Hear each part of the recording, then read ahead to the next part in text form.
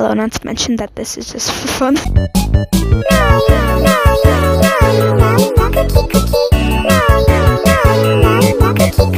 fun.